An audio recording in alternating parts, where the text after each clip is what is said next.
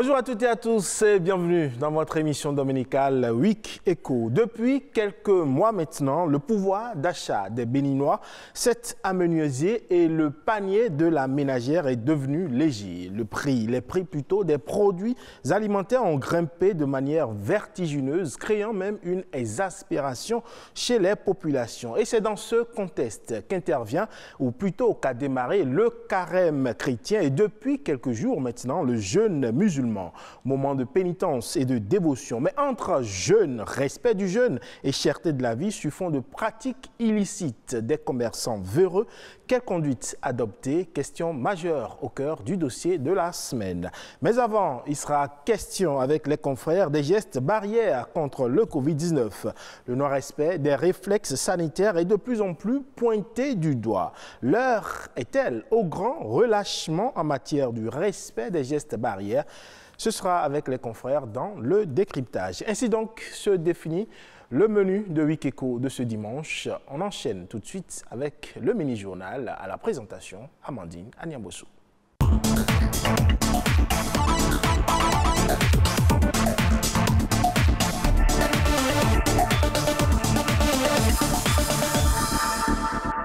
Mesdames, Messieurs, bonjour et bienvenue dans le mini-journal sur Wikeko. Peu connu au Bénin, la citrouille est un fruit que l'on retrouve généralement en Amérique du Nord. Considérée comme un légume fruit, elle fait partie des espèces de couches, de couches les moins consommées. Et pourtant, c'est un fruit-légume qui regorge de nombreux bienfaits. Plus de détails à travers ce reportage de Charlène Kendirou. La citrouille d'origine mexicaine, fait partie de la famille des courges, des courgettes, des melons, des pastèques ainsi que des concombres. Elle est tantôt utilisée comme un fruit, tantôt comme un légume. C'est un fruit exotique parce qu'on ne le retrouve pas euh, sous nos cieux. C'est souvent exporté, ce n'est pas produit ici. Il existe différentes sortes de citrouilles. Le potiron, par exemple, on le trouve ici et est aussi importé de l'Omi. Nous avons aussi une variété de petites citrouilles rouges. Elle est aussi cultivée à Tori et se vend dès le mois de septembre. Souvent utilisé comme élément de décoration pendant les fêtes d'Halloween, ce gros fruit orange est un aliment délicieux qui possède de nombreuses vertus pour la santé. Sa couleur euh, jaune-orange annonce les caroténoïdes. Les caroténoïdes, et un des caroténoïdes, c'est le bêta-carotène. Et la citrouille en rengorge. Grâce à ses nutriments oxydants, la citrouille permet non seulement de renforcer les défenses immunitaires, mais aussi d'apaiser les brûlures, les constipations, de renforcer les os et de réduire les risques de maladies cardiovasculaires. On dit que la citrouille guérit l'hypertension. Certains la coupent en tranches et la mettent dans une bouteille remplie d'eau. Ce litre doit se boire par jour. Ça calme beaucoup de maladies et ça rajeunit les vieux. Mais bien qu'elle soit pouvoireuse de minéraux et d'oligo-éléments, sa consommation ne doit pas être excessive. En réalité, il n'y a pas de conséquences directes comme ça euh, en consommant de, de citrouille mais nous, conseillons à tout le monde de varier, toujours varier les légumes euh, que nous consommons. S'il est reconnu qu'avoir une alimentation riche en légumes et en fruits est bénéfique pour la santé, la consommation de la citrouille s'en trouve alors renforcée, puisqu'elle joue ces deux rôles. Il permet à l'organisme de recevoir les nutriments essentiels pour son bon fonctionnement. L'absence du petit déjeuner peut être fatale pour le corps. Une question subsiste tout de même. Quels aliments devons-nous mettre dans nos assiettes au petit déjeuner pour offrir à notre corps tout ce dont il a besoin et qu'est-ce qu'on retrouve souvent dans l'assiette? Des Béninois Les éléments de réponse dans ce reportage de Bénédicte Possou, Fleury Dovonou et Rodrigue Babagbeto. C'est le premier repas et le plus important de la journée. Le petit déjeuner apporte au corps un quart des besoins énergétiques. Le petit déjeuner, son rôle, c'est d'ouvrir vraiment la porte à l'organisme pour que ça puisse continuer dans la journée réclamer. En fait, le, le repas, est, c'est comme de l'essence pour l'organisme. Et la meilleure manière de mettre cette machine-là en marche, parce que c'est toute une machine, c'est de lui envoyer quelque chose le matin. S'il faut nécessairement prendre un petit déjeuner pour garder son organisme fonctionnel toute la journée, faut-il manger de tout le matin? Au sein de la population, le choix des mets au petit déjeuner est varié. Ah, d'habitude, je prends ablo. Je prends ablo tous les matins. Ou bien pain sandwich, c'est tout. On essaie de prendre quelque chose qui est consistant le matin. Ah, bon, bon, des fois, euh, des fois, on prend la pâte tassée le matin. À mon réveil les matins, je peux prendre soit la pâte, soit la bouillie ou le riz. Tout dépend de mon appétit. Quelqu'un qui fait pousse-pousser, par exemple, il ne peut pas prendre du thé le matin. Il ne peut pas prendre la bouillie aussi. Il mange ce qui est gros en même temps. Là, et puis il est à l'aise. Pour manger, c'est l'activité qu'on fait là, qu'on voit avant de manger. Pour ce spécialiste, il n'y a pas un type particulier de nourriture. Seulement, des clarifications s'imposent. En nutrition, et ça dépend du travail de chacun. Mais en réalité, si nous voulons conseiller quelque chose pour le petit déjeuner d'abord, c'est qu'il faut prendre des salades de fruits, des, des, salades de légumes le matin pour permettre à l'organisme de travailler. Si votre boulot ne vous permet pas de manger, euh, entre-temps, c'est bon de manger pour être rassasié le matin, mais sentez la faim. Ça, c'est très important. Il ne faut pas se lever et dire parce qu'il faut prendre le petit déjeuner, prendre, c'est se surcharger. Perdre l'habitude de prendre le petit déjeuner peut se révéler fatal pour l'organisme. Des risques sont présents. Déjà, là où nous sommes, nous tous, on a besoin de petit déjeuner. Nous tous. Pour, parce que c'est déjà créé. Et nous devons le faire. Et pour le faire, si vous ne faites pas, vous risquez d'avoir l'ulcère gastrique. Le petit déjeuner permet d'alimenter les muscles et le cerveau en énergie. Il apporte au corps les éléments nutritifs nécessaires pour la réalisation de ses tâches quotidiennes. Il faut donc choisir comme premier repas de la journée des aliments qui offrent des apports de qualité à l'organisme. Autrefois symbole d'appartenance à une tribu, les cicatrices raciales ont représenté à travers l'histoire un tissu capital de la culture noire africaine. Aujourd'hui, elle disparaît peu à peu des visages. Les jeunes semblent ne plus porter et chez certaines personnes âgées, elles se confondent au rite des paupières. Pourtant, les cicatrices raciales étaient une carte d'identité. Lucrèce Amoussoui et Alessandra Dioton se sont intéressés au sujet. Voici le reportage. Justin Nata est cadre de l'administration béninoise. Natif de l'air culturel Otamari dans le nord Bénin, il arbore fièrement ses cicatrices en forme de scarification et qui balaie tout son visage. Chez les Beta-Maribé, les cicatrices s'appliquaient sur le visage entre deux ans et trois ans. Ces traits dessinés sur le visage de l'individu et propres à chaque communauté renseignent à première vue sur ses origines. Les cicatrices raciales, encore appelées scarifications ethniques, sont des marques permettant d'identifier les membres d'un clan, la croyance en une divinité elles sont aussi quelquefois symboles du franchissement d'une étape de la vie sociale.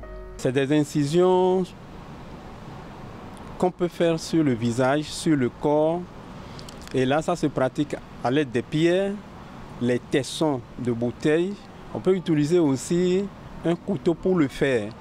On ne le fait pas simplement. C'est par rapport euh, à la culture, par rapport à la religion. Donc c'est un signe identitaire. Et selon l'horizontalité ou la verticalité de ces cicatrices, cela permet de dire il est de tel clan ou de tel autre clan. Vous voyez, certaines collectivités ou certaines, certains groupes socioculturels s'arrangent avec les divinités pour ne pas eh, faire ces cicatrices-là. D'autres ne le font plus du tout eh, parce qu'ils veulent être collés à la modernité. Voilà qui pose le problème actuel de la disparition progressive de la pratique des cicatrices ethniques qui, quoique présentant des avantages, expose également à certains risques.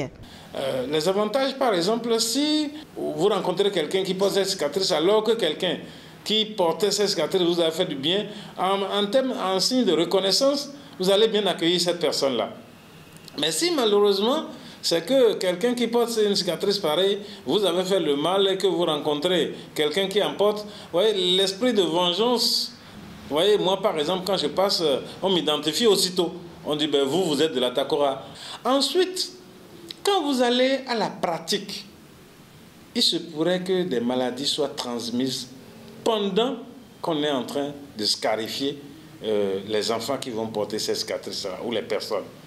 Parce qu'en général, c'est un seul couteau qu'on utilise. Au vu des multiples inconvénients des cicatrices raciales précédemment relevées, il n'est plus forcément nécessaire de conserver la pratique, estime Justin Atta. Les cicatrices raciales constituent un patrimoine essentiel de plusieurs tribus africaines tant elles sont pleines de signification. Ainsi, ne devrait-on pas simplement allier la modernité à la tradition pour préserver cet héritage ancestral Et c'est la fin de ce mini-journal. Wikeko se poursuit avec Ulvaeus Balogun.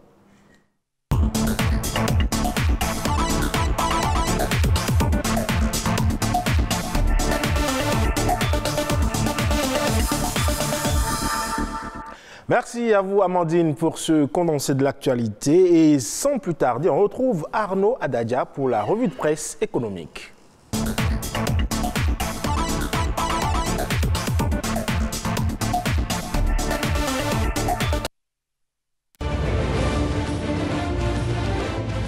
Le débat télévisé sur le bénéfice à la cherté de la vie a longuement été relayé par les canards parus cette semaine un débat public au cours duquel le ministre des Finances a apporté des éclairages sur les raisons de cette inflation. L'événement précis qui cite les propos du ministre affiche Charté de la vie, Romuald Wadagny dément la hausse des impôts. Pour étayer sa titraille, le journal cite les propos du ministre qui affirme que la TVA est toujours demeurée à 18% au Bénin alors que dans d'autres pays c'est 20% et la taxe sur le riz est abattue à 80%. Dans la même veine, Nation écrit politique fiscale, pas de hausse d'impôts. Si pour sa part le potentiel a trouvé la clarification de Wadagne rassurante, Fraternité s'est intéressée au civisme requis pour faire face à la crise. La presse du jour parle, lui plutôt, de la subvention de 5 milliards sur le gasoil par mois. L'autre information publiée par les journaux cette semaine est relative à la prorogation du délai de la mise en vigueur du paiement de la redevance relative au ramassage des ordures ménagères dans le Grand Okwe. Gaskiani, relayant le communiqué de la Société de gestion des déchets et de la salubrité, nous apprend que le paiement de la redevance des déchets prévu pour démarrer le 1er avril est différé à une date ultérieure. Et puis pour finir, la presse du jour nous informe que la Société nationale de mécanisation agricole Sonama a livré ses premiers tracteurs aux producteurs. L'auteur de l'article rappelle que le gouvernement béninois s'est engagé à subventionner les dix tracteurs à hauteur de 50% du prix d'achat et de 30% pour les kits, ceci dans le cadre de l'intensification de la mécanisation agricole au Bénin.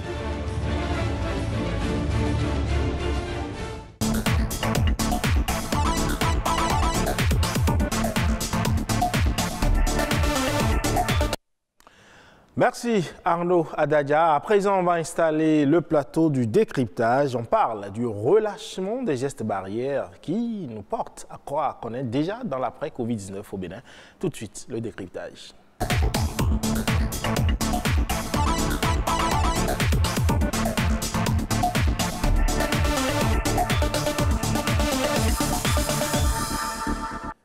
Ils sont donc installés déjà sur ce plateau. Je reçois ce matin, honneur aux dames, justement, Agnat Bello, bonjour. Evaïs Bello, bonjour, mesdames et messieurs, bonjour.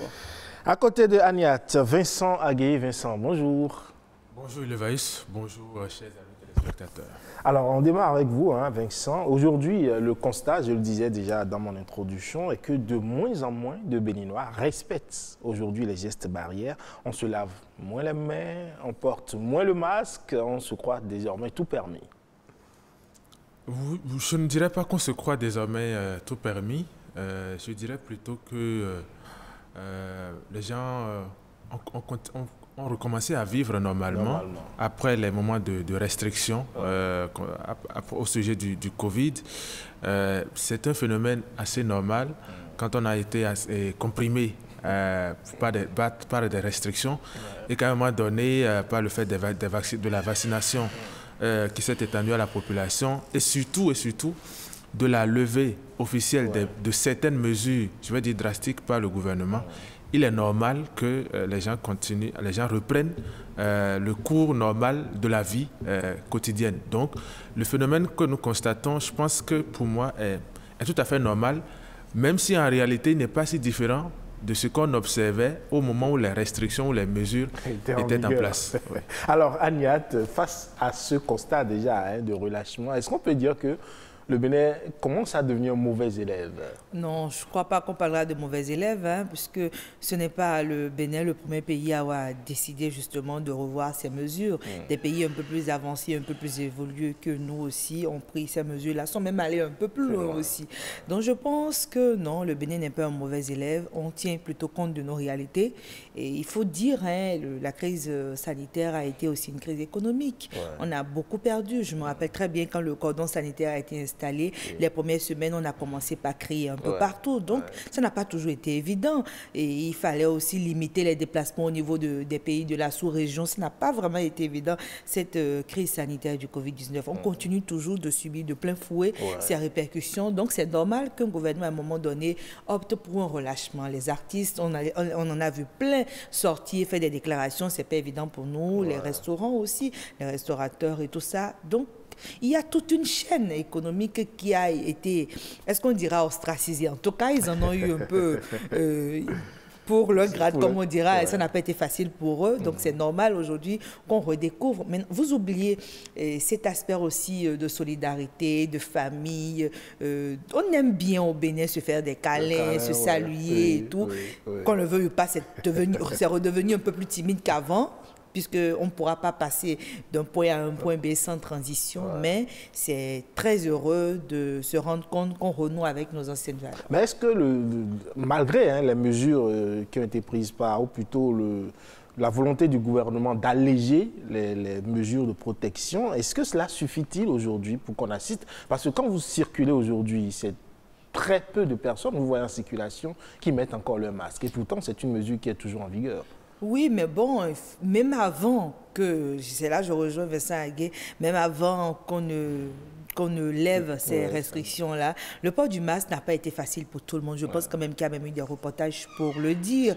Pour certains, ils avaient même du mal à respirer. Pour d'autres, c'était pas évident de, de, le porter tout le temps. On a même eu eh, les policiers, la police républicaine qui a dû accompagner pour pouvoir obliger et les populations, les citoyens à respecter cette mesure-là. Mais dans certaines structures, par exemple, quand vous allez en banque, jusque-là, vous êtes obligé de mettre votre masque. Moi, je pense que quand euh, le port, pour moi, hein, le port de masque n'a jamais été obligatoire si vous respectez la distanciation. Je trouve que quand on ne se touche pas, même si on partage le même, euh, le même air, le même espace, si on est un peu loin l'un de l'autre, on peut se permettre de ne pas, de ne pas le mettre. Ce n'est pas que je le conseille, mais je pense que même au début, les premières mesures, on avait dit que quand la distanciation est respectée, le port du masque n'était pas obligatoire. C'est après, c'est devenu obligatoire euh, dans un espace donné, puisque plus vous êtes nombreux, plus il y avait des possibilités de contagion. Donc c'est normal. Le port du masque n'a pas été évident, Donc c'est normal que la population, dès qu'elles ont ressenti un certain relâchement dans les mesures, on s'est dit voilà, même celui-ci, on peut, on, peut, le se lâcher. On peut se lâcher. Mais par contre, il ne faut pas penser que le Covid-19 euh, euh, a disparu. Totalement disparu. Non, non, pas du tout. Il y a toujours des, des, malades. Il y a toujours des personnes qui sont malades de ça. On n'a pas les dernières statistiques. C'est peut-être le moment de rappeler au gouvernement de nous redonner les ah statistiques. On en a besoin. Vous affirmez que le, euh, il y a encore de, de malades, parce que le, le, le, gouvernement justement parle de, voilà, de la diminution des, des cas de contamination. voilà. donc les, chiffres, les, chiffres, oui. Vincent Aguet là-bas, c'est parce qu'on a des proches qui continuent de faire Je suis cette maladie-là, en mm. fait. Donc euh, c'est vrai qu'on n'a pas de chiffres, mais on a des faits qui étaient, on a tous dans notre entourage quelqu'un. Mais, mais, vous abordez un point important, c'est qu'on ne nous fait plus le point de, des cas contacts. Ce qui forcément, qu'on le veuille ou non, euh, peut être hein, interprété avec euh, Vincent pour dire qu'il n'y a plus de, cas Covid. si on n'a pas de chiffres, ça veut dire que la maladie n'existe plus chez nous. Non, non, non. si ça n'existe pas, le euh, gouvernement sortira pour le dire. Pour l'instant, ils n'ont pas encore dit que ça n'existe pas. Donc il faut les appeler alors à le dire. voilà, on, veut, les chiffres. je pense qu'il faut observer un peu la communication officielle, la communication du gouvernement au sujet de la crise. C'est une communication qui varie en fonction des circonstances.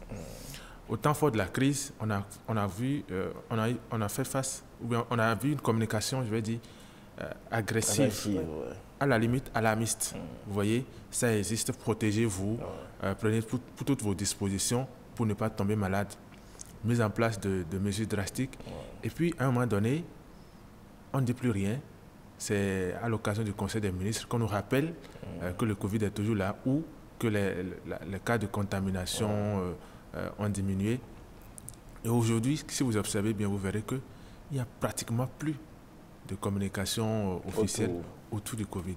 Ça, c'est un signe. Mmh. Il, faut, il faut savoir lire ça. Pourquoi on le fait? Il faut, il, faut, il faut chercher à comprendre. regardez par exemple l'exposition des trésors royaux qui est en cours à la présidence de la République. Pour y accéder, il faut juste se munir de son, son cache-nez, euh, le masque. Euh, le passe vaccinal n'est pas exigé. Euh, donc, la distanciation non plus à l'intérieur. Quand vous voyez le monde, évidemment, ça permet de, de montrer au monde qu'il y a de l'affluence, ce qui est tout à fait normal. Est-ce qu'en temps normal, en fait, on pouvait faire cette exposition, par exemple, en, en maintenant en place les restrictions, notamment par exemple la distanciation sociale. C'est pas évident. pas évident. L'exposition, par exemple, au, bout de six semaines, on parle de plus de 50 000 visiteurs à la présidence de la République sur euh, euh, quatre jours par semaine. Donc, dans ce contexte, je ne veux pas dire que c'est à cause de l'exposition qu'on a levé les mesures. Ce n'est pas ce que je dis. Ce que je dis, c'est que si on ne communique pas et que dans le même temps, vous voyez de ces activités se mener et bien d'autres, vous vous dites, le gouvernement lui-même a certainement des données, je vais dire, probantes qui lui permettent de, qui lui permettent de, de lever les mesures. Quand vous lisez le dernier Conseil des ministres qui s'est intéressé au Covid, du 16 mars, du 16 mars, donc bientôt un mois, euh, je vois quand même des recommandations qui sont toujours en place, des recommandations de port de masque dans les lieux publics. Alors, une recommandation forte, qu'est-ce que ça veut dire? Je pense que euh, pour un gouvernement, pour un État, en matière de santé publique, je préfère des, des, prescriptions plutôt que des recommandations. Parce qu'une recommandation, ça reste une recommandation. Je peux ne pas suivre. Évidemment qu'il reviendra aux structures publiques ou privées de prendre en compte les recommandations et de les imposer, par exemple, dans les banques. Moi, j'étais dans une banque hier. C'est devant la banque que je me suis rappelé, en fait, que le, port de, que le, port de, masque était toujours d'actualité.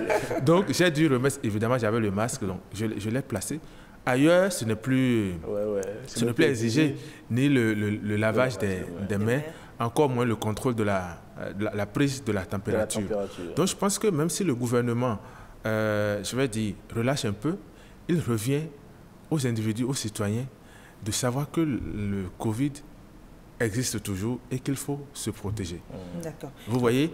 Alors, par contre, quand vous, quand vous prenez les, les transports en commun, euh, le gouvernement dit les, le respect de la distanciation sociale dans les transports en commun est élevé. Mais ça n'avait jamais été respecté. À moins, non, ça à, moins, à, moins, qu'on prenne en compte seulement les, les, les, les, compagnies de voyage.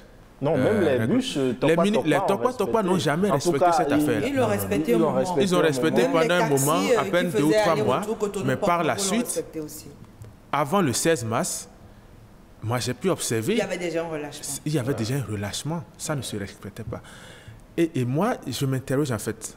Je n'ai pas fini. Je, n'accuse personne dans cette affaire. Je me dis en fait, est-ce que c'était des mesures adaptées à notre contexte, Est-ce qu'on pouvait vivre avec ces mesures-là? Ma réponse, c'est non. Mm. C'est non. Et je rejoins un peu ce que le président avait dit au début de la crise chez nous. C'est-à-dire, les mesures en place en Europe et en Occident, je vais dire de façon générale, ne peuvent pas être répliquées chez nous en Afrique. C'est-à-dire, on veut limiter à tout prix euh, le brassage interhumain. Ce n'est pas possible. possible J'ai vu des pays africains faire le confinement total de leur population. Mais ça a été une épreuve. Fort heureusement chez nous, chez le dans, dans la plupart des cas, on n'a pas eu ça. Parce qu'on raisonnablement, on ne pouvait pas le faire. Vous allez confiner les gens qui vivent, des familles entières qui vivent, je ne sais pas, 5 à 4, au moins, dans, qui vivent euh, euh, dans, des, dans, des, dans des appartements de deux pièces. À peine, comment ils vont vivre? Vous voyez? Donc, on ne pouvait pas le faire. Et ma question demeure. Les mesures n'étaient pas vraiment adaptées. oui, non, mais bon, je pense quand même que les mesures qui ont été prises au, au Bénin étaient des mesures nécessaires. Il faut quand même nuancer. On ne communique peut-être plus sur la maladie elle-même, mais on incite toujours à la vaccination. On a, peut-être euh, évolué. On a évolué dans la, dans la communication. On est dans une autre forme de communication. Moi, j'ai été surprise. C'était avant-hier. J'étais dans mon, j'étais dans ma chambre quand j'ai entendu le crieur public passer dans le quartier, demander aux gens, c'est vrai, et on ne vous oblige plus à faire ci, à faire ça, mais sortez vous faire vacciner, la maladie existe toujours, il faut vous faire vacciner, c'est la seule condition pour continuer à vivre normalement. J'ai aimé avoir ce rappel-là. Et je pense que si aujourd'hui le gouvernement est quand même aussi un peu plus à l'aise, c'est parce qu'on a des chiffres qui, que surtout à Cotonou. À Cotonou, c'est à Cotonou qu'on a le plus grand nombre de vaccinés. D'accord? Donc c'est normal qu'à Cotonou, on puisse se permettre un certain nombre de choses. Parce que quand vous êtes vacciné, on suppose que même quand vous avez la maladie, on nous a dit que vous ne développerez plus la forme grave, d'accord Et que peut-être même l'effet contamination sera un peu plus atténué. Hmm. Donc je pense que c'est peut-être tous ces facteurs-là, l'un mis dans l'autre, qui, explique. qui explique un peu euh, ce, relâchement. Et nous qui avons eu le vaccin, on est quand même un peu plus à l'aise, on se dit, voilà, ah on a l'impression d'avoir un super pouvoir. je ne sais pas si c'est vrai ou pas, on a l'impression d'avoir un super pouvoir, on se dit, bon, je peux, je peux sortir normalement. Il y a un aspect que Vincent Aguet a abordé qui est quand même très très important. Je pense que euh, la société africaine n'est pas une société individuelle. On n'a jamais été individualiste. Donc une mesure qui nous ramène à cette individualité, ça n'a vraiment pas été évident. Ne serait-ce que le cordon sanitaire qu'on a vécu et subi ici de plein fouet. Je me souviens très bien, la première semaine, ça n'a pas été facile. Parce que quand les parents se sont rendus compte que leur enfant était très loin, qu'ils ne pouvaient pas traverser le cordon pour aller le voir, mais on a vu des gens se contourner. Bien sûr. Tout le monde a appris des euh, raccourcis. Là, on a su qu'il y avait des raccourcis pour quitter telle commune pour aller dans l'autre.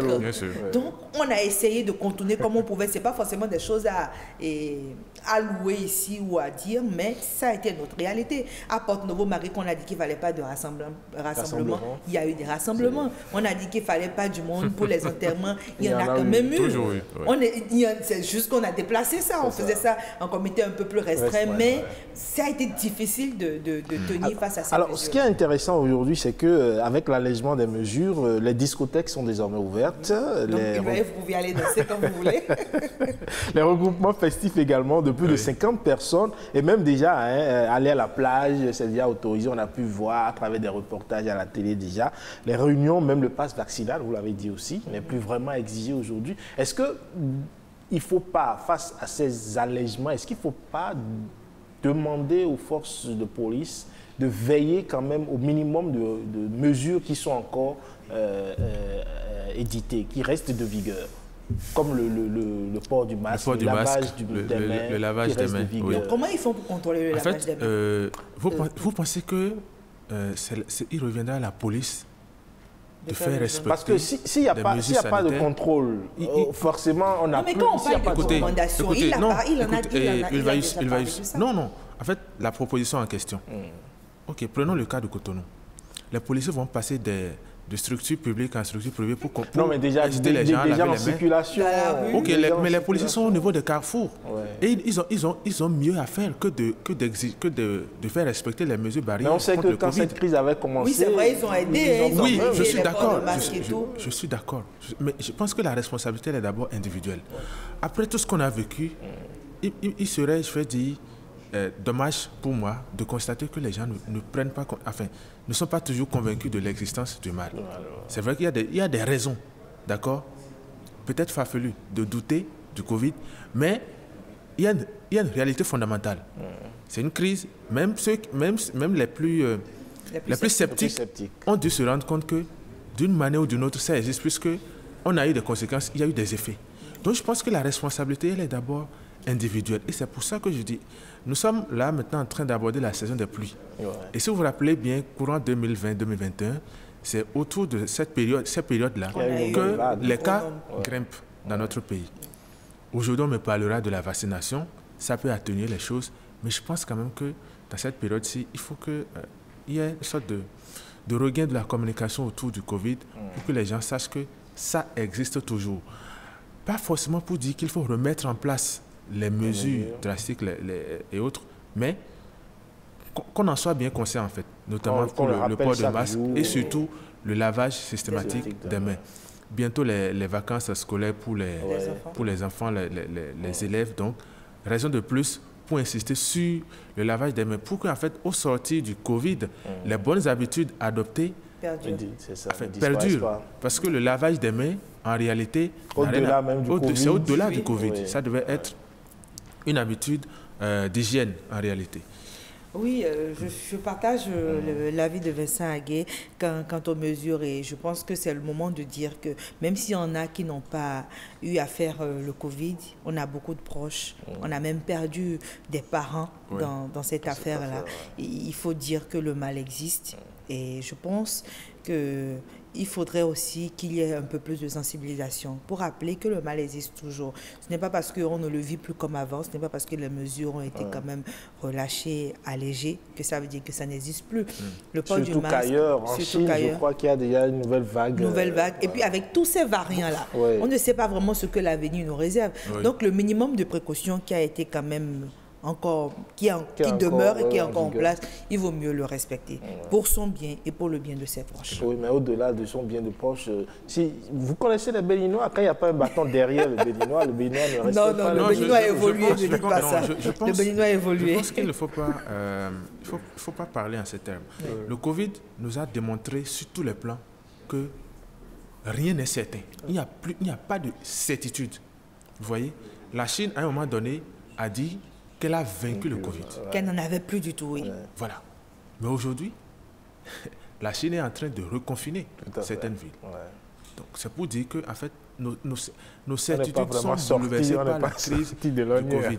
Maintenant, il y a un aspect qu'on n'a pas vraiment abordé, l'aspect économique, qui permet en fait de voir que effectivement le Covid a existé, a fait des ravages. Ah Vous voyez, la, la flambée des prix qu'on connaît aujourd'hui, c'est l'effet euh, combiné du, du Covid et de bien d'autres choses. Vous voyez Donc, il, faut avoir vécu ça, je vais dire, pour savoir que le Covid a fait de, mal mm. aux populations. Euh, africaines, même si les gens n'en ont pas souffert, je vais dire, sur le plan physique, Alors, sur le plan économique. On, va finir en 30 secondes sur cet aspect que vous abordez. Votre appréciation des, des, mesures qui ont été prises par le Conseil des ministres face à la vie chère En 30 secondes. Moi, j'ai un peu de doute. Le doute, c'est que c'est des mesures qui ne permettront pas de revenir à la situation d'avant. C'est-à-dire que la flambée des prix que nous constatons là, elle est partie pour durer, pour être stabilisée. C'est-à-dire qu'on on entre dans une nouvelle ère. Quand les prix montent, les prix ne descendent, plus. Alors je me demande, est-ce que c'est la bonne mesure que prend le gouvernement? Est-ce que la bonne mesure ne serait pas d'augmenter le pouvoir d'achat notamment des salariés, des fonctionnaires. Bon, ça c'est à venir, on sait que c'est à venir. Mais ça a été annoncé. Oui. Mais justement, c'est le moment de concrétiser cela. Mais évidemment, face à l'urgence, il est normal que l'État puisse contrôler et réglementer les prix sur le marché. Maintenant, sur le terrain, qu'est-ce qu'on constate? Les commerçants disent, en fait, mais j'ai fait mon stock avant, la mise en place des mesures. Il faut que j'écoule le stock avant d'appliquer les nouveaux prix. Mais le commerçant qui a, qui a de mauvaise foi même s'il a acheté ces marchandises ah après, les mesures du gouvernement, dira toujours que mon stock a été fait. Et ce qui, ce qui est mauvais ou ce qui est bien dans l'affaire pour ceux qui ont fait le commerce, moi, mes parents sont Vous avez 15 secondes. C'est que ils ont toujours raison d'une manière ou d'une autre. Parce que quand ils vous refusent de vendre, avec, quand, quand vous refusez d'acheter au prix qu'il a affiché, c'est que vous allez ailleurs. Vous allez chez l'autre, c'est la même chose. Et si vous êtes dans le quartier, s'il est le seul qui vend le, produit que vous voulez, vous n'avez pas le choix, vous allez acheter. Alors, Donc, je me dis, c'est vrai, c'est de bonnes mesures, mais on peut faire mieux. On peut faire mieux. Agnès, Les mesures euh, sont basées sur trois leviers. Et le hmm. ministre des Finances euh, l'a annoncé. La première mesure, c'est diminuer un peu l'impôt, le fixe, les taxes, pour pouvoir permettre justement à ces commerçants-là de faire entrer leurs produits et l'avoir finalement à un prix, un prix, un prix abordable pour que le consommateur final puisse aussi en bénéficier. Le deuxième aspect, c'est contrôler justement. Le contrôle, la régulation, s'assurer que les prix pour les produits qui ont été fixés, c'est maintenu et tout, et que les commerçants, justement, ils évitent de faire leur vireux là, comme on le dit. Ils évitent la spéculation. Maintenant, le troisième aspect, c'est le pouvoir d'achat. Le pouvoir d'achat, d'accord, qui doit être euh, augmenté, qui doit être euh, réévalué. Et c'est sur cet aspect-là qu'on attend le gouvernement. Je crois que tous les regards sont braqués sur le gouvernement actuellement. C'est ça qu'on attend, assis ici. Là. Donc c'est ça qu'on attend tous. Et on espère vraiment que les membres du gouvernement vont apporter la bonne nouvelle très très bientôt. Parce que quand le pouvoir d'achat n'a pas, augmenté et que tout a augmenté, la vie augmente, c'est difficile de tenir. C'est difficile de tenir. Espérons que le gouvernement passe rapidement aux choses sérieuses. oui, oui, on l'espère tous, on croise mais en attendant, je pense que c'est le moment de partager cette astuce. C'est le moment pour tout un chacun de faire un rééquilibrage économique. Il faudrait faire en fonction de ce qu'on a. Ça permet toujours de mieux s'en sortir. Merci pour ce conseil, Agnès Bello. Vincent Aguet, merci également pour ce décryptage. On va installer tout de suite le dossier de la semaine.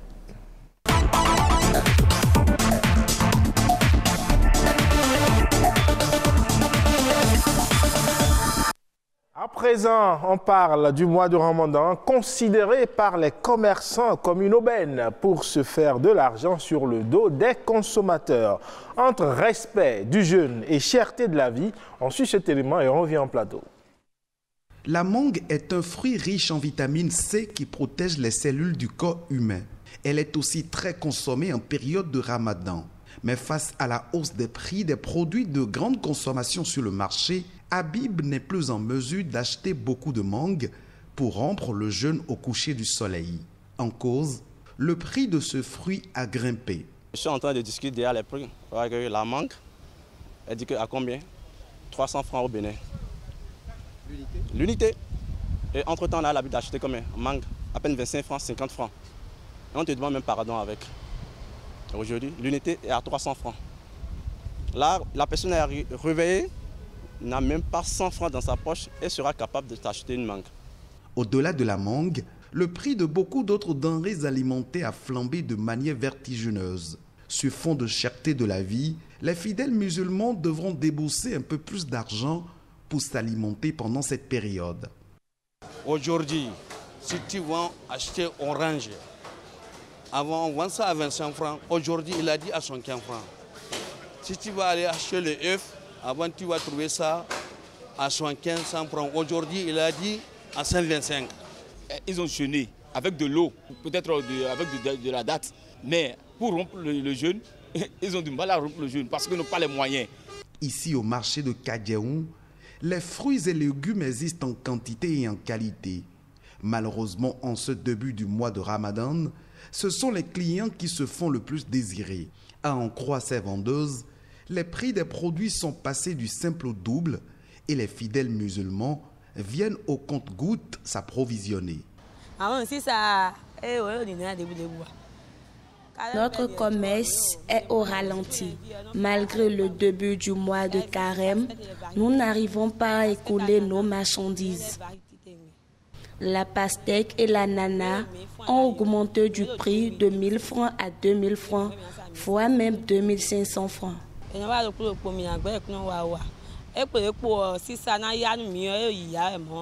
Malgré la coïncidence du mois de Ramadan avec l'inflation dans le monde entier, les fidèles de la religion islamique ont l'obligation d'observer le jeûne.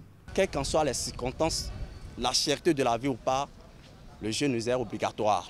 Ce qui est aussi obligatoire pour chaque fidèle musulman, c'est de préserver sa santé pendant et après le Ramadan contrôler la qualité des aliments qui doivent se retrouver dans son assiette à la levée comme au coucher du soleil s'impose. Et voilà, on l'a entendu dans le reportage, cherté de la vie ou pas, eh bien, le jeûne musulman doit avoir lieu. Donc, euh, et pour en parler ce matin, nous recevons sur ce plateau Dieudonné Assouvi. Il est économiste, spécialiste de la nouvelle économie structurelle et de la finance de demain. Monsieur Assouvi, bonjour. Bonjour. Merci d'être avec nous. Merci, c'est un plaisir et pour euh, conduire l'entretien avec moi, Patrick Adiabodjou, tout beau. Patrick, bonjour. Ilvaïs Balogun, bonjour. Chers téléspectateurs, bonjour. Dieu Dionné Assouvi, bonjour. Bonjour, monsieur le journaliste. Du Sénégal au Bénin, en passant par le Mali, le Togo et la Côte d'Ivoire, les prix des denrées alimentaires flambent de manière vertigineuse. Et c'est dans ce contexte que le carême musulman a démarré depuis le 2 avril 2022. Dieu donné à Souvi, quelles sont les toutes premières inquiétudes qui émergent dans votre cœur? Les inquiétudes euh, sont nombreuses. L'inquiétude, vous savez, euh, le problème fondamental qui est là, c'est la consommation. Lorsque vous êtes, euh, quel que soit votre culte, que vous, pendant l'exercice de ce culte-là, vous ne jeûnez pas, vous avez un problème sur la santé. Problème sur la santé, c'est qui est un problème de santé publique pour l'État lui-même qui doit faire face à ces problèmes-là. Donc c'est notre euh, première inquiétude. Mais tout à l'heure, dans l'évolution des débats, on pourra voir décortiquer chaque aspect de ces inquiétudes-là. Puisque l'analyse que nous ferons tout à l'heure en faisant cette distinction que je viens de faire, ce sera une analyse globale, une analyse holistique qui permettra de mieux mettre l'inflation du capitalisme et l'augmentation des prix pendant euh, le, le, ramadan. Donc l'inquiétude pour, pour nous économistes, c'est euh, ça se situe d'abord au niveau de la consommation et au niveau également euh, des risques de mévente pour les, les, commerçants qui sont sur le marché actuellement parce que euh, tous les musulmans n'ont pas le pouvoir d'achat aujourd'hui pour aller sur le marché alors que les choses coûtent cher. Donc ce qui fait que ça va engendrer un cycle de crise pour l'économie, que ce soit au Bénin ou dans tous les pays musulmans. Quand on a connaissance euh, de ce que la situation que nous vivons euh, aujourd'hui au Bénin et partout ailleurs, la cherté de la vie, euh, la flambée, la hausse des prix des denrées alimentaires, on peut comprendre cette situation sur le vocal du capitalisme, comme vous venez de le dire. Quand on connaît tout ça et qu'on est obligé de jeûner, de prier, hein, de traverser cette période de pénitence, d'adoration, comment gérer sa bourse quand on est fidèle musulman? Oui, quand on est fidèle musulman aujourd'hui, c'est qu'il faut revoir fondamentalement euh, ses, finances. Revoir fondamentalement finances en commençant par mettre les priorités sur euh, tout ce qui relève de la première nécessité. Donc, je veux dire, euh, les fruits qui sont les premiers produits pour les musulmans parce que après le jeûne, il faut consommer les fruits pour pouvoir donner un tenus à l'organisme. Donc, il faut mettre l'accent sur ça. Deuxième priorité, ce serait la question de santé dans les médicaments. Que vous, éventuellement, si vous allez, notamment les vitamines, si vous avez des problèmes euh, après, vous allez vous procurer de ces vitamines. Donc il faut mettre les accents sur ça.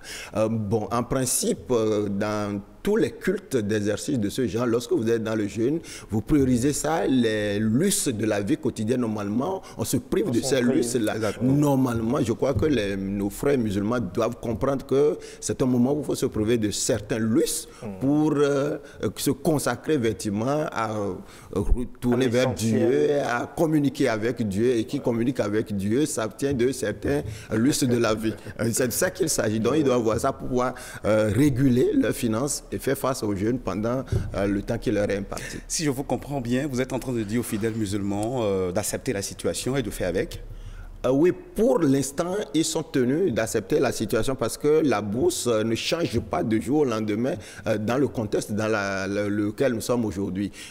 tant que vous n'avez pas de pouvoir d'achat, vous avez l'inflation du capitalisme et vous avez la cherté des produits pendant le mois de Ça fait trois des éléments là que vous conjuguez aujourd'hui. Si vous conjuguez ces éléments-là, que votre revenu disponible, comme on le dit en économie, vous êtes sûr que ça ne peut pas changer dans le mois de... Oui, vous, accepter la situation même les musulmans qui sont dans le commerce, ils ne sont pas sûrs que le commerce là va augmenter pour qu'ils puissent changer leurs revenus disponibles. Donc par conséquent, le nécessaire à faire pour l'instant, c'est euh, de vivre avec euh, sa bourse. Alors, ce l'autre chose à laquelle je Oui. pensais peut-être, c'est peut-être aussi l'occasion pour Oui. nos frères musulmans de se réunir en communauté pour célébrer ces moments-là. hein. Si on se cotise, on se met à 5 ou à 10. C'est une bonne Si option on aussi. se cotise, ça va être plus facile. L'économiste va dire si c'est une bonne option. Oui, c'est une bonne option aussi euh, de faire comme ça. Euh, J'avais dit sur le- vos plateaux ici qu'aujourd'hui, dans la, face à la la spéculation du capitalisme, dans tous les pays, les gens réfléchissent à la nouvelle économie et dans ce, ce que vous venez de dire, ça peut s'inscrire dans l'économie de partage, l'économie collaborative, où vous mettez ce que vous avez, euh, à défaut d'avoir une plateforme électronique, mais déjà euh, dans un euh, quartier, un village, on dit oui, euh, nous avons notre mosquée, vous avez même jusqu'aux médicaments, tout ça, vous mettez là, et ça permet aux gens de se soutenir pour aller de l'avant. D'ailleurs, dans euh, la, la chrétienté primitive, c'est ce qui était fait par les premiers chrétiens. Donc je crois que les musulmans, ils ont cette tradition-là et c'est le moment maintenant euh, de mettre ces moyens. En fait, les crises, c'est vrai qu'on les déploie, on déploie les crises dans le capitalisme, mais les crises amènent toujours à réfléchir mieux sur euh, la solidité de l'économie. Ex- Exactement. Belle transition. Je voudrais vous demander, quand on pense à la solidité de l'économie et quand on est obligé de faire face à des crises, je voudrais savoir pourquoi le phénomène de la hausse des prix à chaque édition de la fête du Ramadan. Une fête euh, qui vient juste après le carême.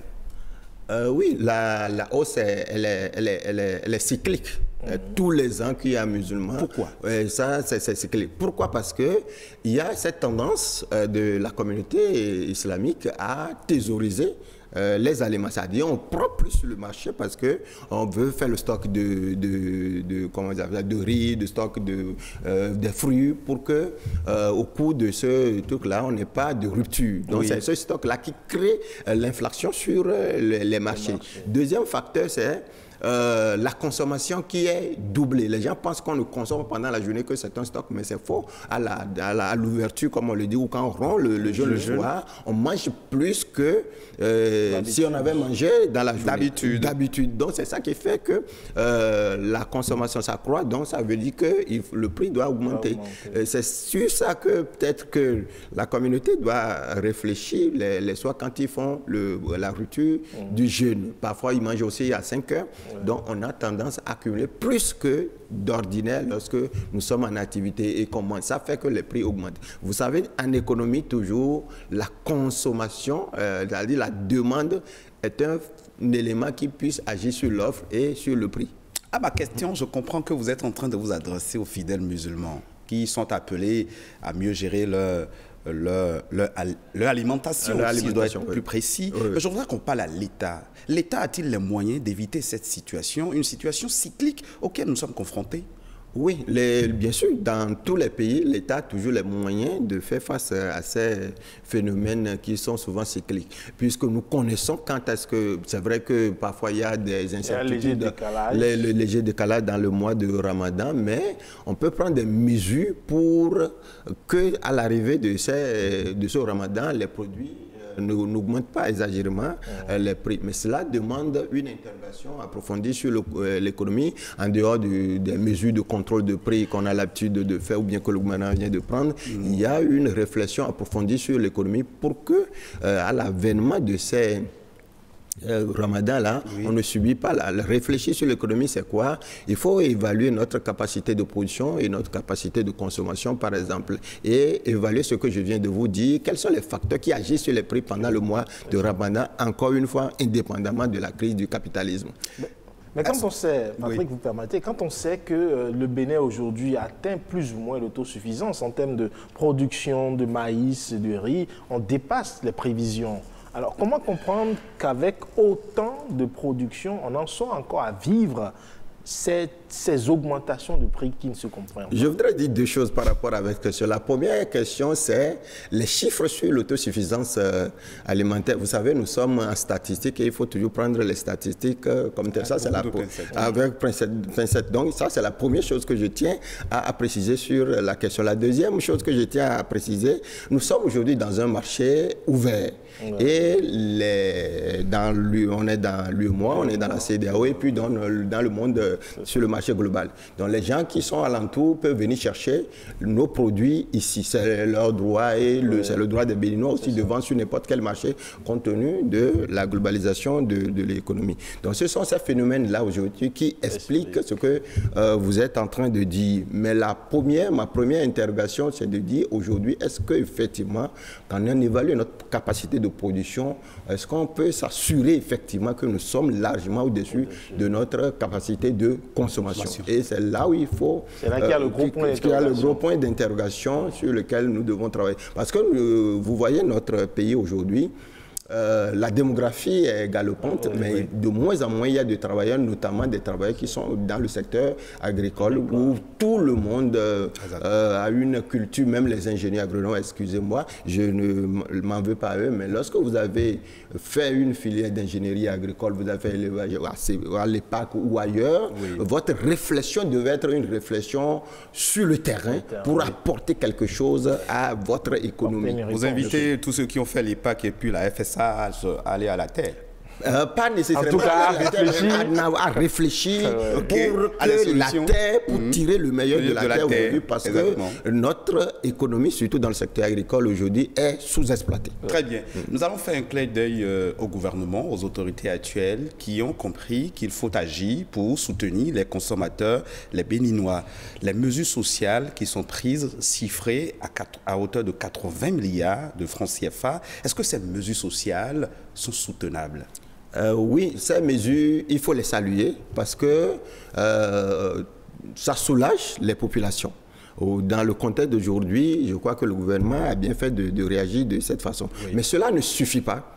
Il faut aller plus loin et aller plus loin, c'est agir sur euh, notre économie. Nous venons de commencer la réflexion, par exemple, sur le secteur agricole, qu'il faut réorganiser entièrement, qu'il faut mécaniser et qu'il faut organiser les fermes d'ampleur pour que nous ayons effectivement des données fiables en termes de notre capacité de production et de notre capacité de consommation dans le secteur agricole. Donc, cela demande une réorganisation de l'économie. La deuxième chose, notre économie aujourd'hui est une économie totalement extravertie et vous avez une balance euh, commerciale structurellement euh, déficitaire. Dans ces conditions-là, la mesure du gouvernement, au-delà de- du social, c'est d'organiser l'économie, d'encourager la création des grands groupes, euh, que ce soit D'entreprises. industriels, d'entreprises, et bien gérées. Ce n'est pas les entreprises avec un management archaïque euh, qui sont dépassées et que du jour au lendemain qui meurent aujourd'hui. On a plein d'entreprises qui se créent tous les jours, mais qui meurent le lendemain parce qu'ils n'ont pas encore développé ce qu'on appelle l'intelligence de la création d'une entreprise. Un coup d'œil que je fais aux étudiants sur l'intelligence économique. Donc ça demande que l'État travaille dans ce sens-là. Euh, cela demande effectivement, comme on le dit en, économie, pour avoir l'effet d'entraînement, il faut aller vers la chaîne de formation dans nos universités pour former les gens qui sont capables de soutenir euh, ces mesures-là pour qu'on ait des groupes vraiment viables. Vous avez aux États-Unis, il y a l'économie française repose par exemple sur les CAC 40. Est-ce que nous en avons ça ici? Nous n'avons aucune entreprise aujourd'hui en dehors de deux banques qui sont cotées en bourse euh, régionale des valeurs à Côte d'Ivoire. Donc voilà que nous- on a une économie fragile et le défi du gouvernement, c'est de euh, organiser l'économie pour que nous puissions au moins réduire notre dépendance de l'extérieur, surtout dans ce que- lorsque nous sommes dans un monde d'interdépendance où les économies sont interconnectées. Celui qui l'emporte, c'est celui qui tire plus le, droit de son, le, le- le drap de son côté, comme on le dit. C'est-à-dire, lorsque vous exportez euh, plus que vous n'importez, là, vous êtes dans l'économie d'aujourd'hui. Mais lorsque vous importez tout, ça veut dire que c'est l'économie qui vous tire vers les autres. Yves Balogun, je pense que euh, Dieu donné à Souvi nous éclaire beaucoup, nous aide à comprendre mieux les, les- les autres réformes, les autres mesures sociales que le gouvernement peut prendre. Si je peux vous résumer, booster le secteur agricole, tirer profit de cette opportunité que nous avons, créer de grands groupes d'entreprises qui peuvent porter très loin l'économie de notre pays et réorganiser aussi la consommation. Je crois que je vous résume. hein. Oui, oui, il faut réorganiser la consommation. Réorganiser la consommation dans l'économie, ce qui est démontré dans toutes les économies, c'est la consommation qui stimule la production. De plus les gens consomment, plus les gens produisent. C'est pour ça, euh, en Europe, vous, euh, vous entendez parler de sociétés de consommation. Il faut qu'on ait les sociétés de consommation. Il y a des théoriciens aujourd'hui qui estiment que les pays africains, notamment les, les Béninois, sont des peuples euh, moins rentables. Euh, Ah bon? appelle PNR. Oui, ils ne consomment hein. pas. Ils ne Oui, on peut le prendre comme une insulte, mais on ne consomme pas. Euh, quand je prends un exemple aussi banal, peut-être que vous avez acheté votre Bumba là maintenant il y a un an ou deux ans, et puis vous n'avez plus d'autres choses. Ce n'est pas la consommation. Vous savez, chez les Occidentaux, vous achetez un iPhone, vous quittez l'usine, avant d'aller à la maison, on dit qu'il y a une nouvelle marque de revenus de au France comme ça. C'est ça la consommation. Ça fait que les industries travaillent, l'économie travaille, l'économie vit. Mais aujourd'hui, il n'y a pas de consommation liée au faible pouvoir d'achat, mais liée également à la thésaurisation de nos riches, et ainsi de suite, où on ne fait pas vivre l'économie. Donc l'économie, c'est une économie euh, qui est à léthargie en fait. Il faut qu'on fasse un travail euh, dans ce sens-là. Et quand on prend l'environnement international aujourd'hui, où on a la crise, la réflexion, par exemple, en Afrique et au Bénin, euh, quand on est vraiment dans l'intelligence de l'économie, c'est que euh, la crise est venue. Nous savons les secteurs sur lesquels la demande est forte. Qu'est-ce que nous faisons de notre économie pour nous positionner sur ce secteur-là où la demande est déjà forte aujourd'hui? Parce que je vous ai dit, les crises comporte toujours des éléments pour aller de l'avant. Et tous les pays saisissent les opportunités des crises pour aller de l'avant. Vous avez parlé de crise sanitaire tout à l'heure, mais il y a plus de 10 multinationales qui ont émergé dans cette crise. pour augmenter le chiffre d'affaires. Autrement dit, il faut se questionner au Bénin comment, quel, que, quel tir, le profit le que profit nous avons de la crise par exemple. Quel, quel, profit nous en tirons de la crise en Ukraine, par exemple, de la guerre, et tous les pays africains d'ailleurs? Ça fait appel aussi à notre souveraineté économique. Et à notre souveraineté économique. Et la souveraineté économique, repose sur des leviers technologiques. Leviers des grands groupes. Si vous n'avez pas de grands groupes, vous ne pouvez affirmer sur un plateau ou euh, au carrefour de, euh, comment vous appelez ça, à l'étoile pour dire que nous sommes souverains. C'est des actes, c'est des leviers sur lesquels il faut on agir. On vous aura compris. Une dernière question. Euh, votre dernier mot à l'endroit des fidèles musulmans. On aura fini. merci, mais mon, mot, c'est de leur l'encourager, qu'ils savaient, c'est un sacrement, je l'ai dit, pour eux. Donc, ils n'ont qu'à prendre les mesures et rester dans la modestie.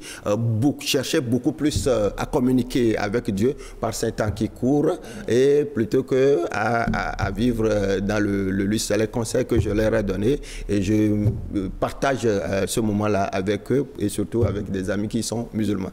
Merci à vous. Merci à vous, Dieu donné à Souvi. On a appris beaucoup de vous et beaucoup de choses que les, qui, qui, sont, qui ne sont pas tombées dans les oreilles de Sou. Absolument. Merci à vous, Patrick Kadiabodou, pour cet entretien. Dieu donné à Souvi, spécialiste de la nouvelle structurelle et de la finance de demain. Merci d'être passé sur ce plateau. C'est tout pour Wikeko de ce dimanche que vous pouvez retrouver sur le site de l'ORTB le 3 w.ortb.bj, également sur les pages Facebook de Benin Business 24 et de votre émission Wikeko. Portez-vous bien et à dimanche prochain.